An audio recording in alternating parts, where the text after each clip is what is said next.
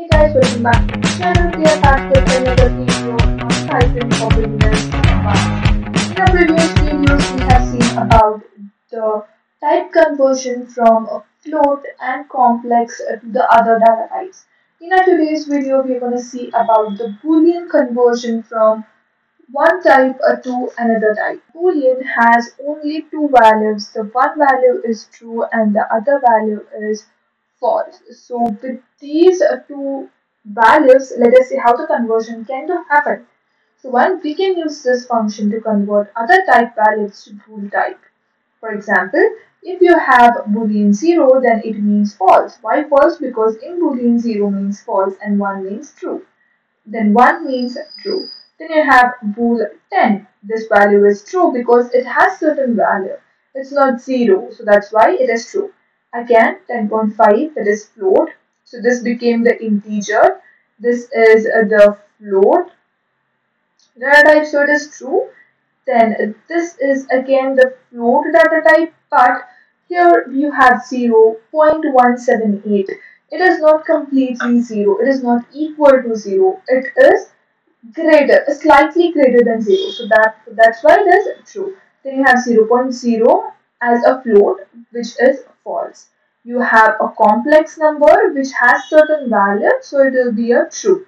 You have complex number with a real part is 0, but imaginary part is, has certain values, then it is true. Next you have again the same thing which is 0 plus 0 that is the complex part is also 0 and the real part is 0 which is a false you have a true value which will be true, false value which will be true because it is a string of a false. If you could see here, this isn't the just a boolean type false, it is a string type false. So then you have a blank which is false again. Okay, so we have a chart here wherein if you want to convert any data type into this particular function, so if it x is an integer. So whatever the x value that is there here if it is an integer data type if 0 means false non-zero means true. So we can keep this mind uh, this table in mind. If it is in float if the total number value is 0 then the result is false. Otherwise the result is true which is great. Okay fine. Next if both real and imaginary parts are 0 that is 0 plus 0 then the result is false. Otherwise it is true if x is empty string, then the result is false, otherwise it is true. Fine. So let us see these things in the Visual Studio Code. Uh, so we have our uh, Visual Studio Code here. So we have print. We can convert the bool value, I mean the integer value 10 in the boolean value. So let us see this. Now we can see this true if you're going to give a certain floating point value, then again it is true.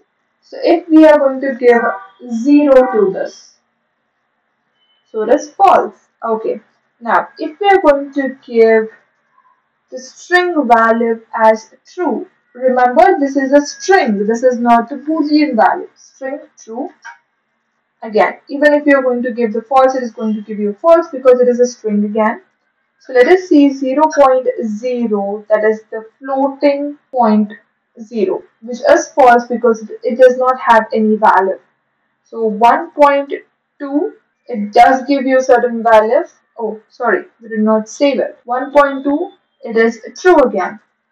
Again you have 0 plus 0 plus 1j. So the real part is 0 but imaginary part has certain value which is true again if you do not have any value for the imaginary as well as for the real part, then it is false because the value is 0. So this is about the type conversion for boolean from any of the other data types. Now let us see about the string data type. We can use this method to convert other type values into the string type. So if you're just going to give it as integer, it is going to give you in the quotes that it is 10.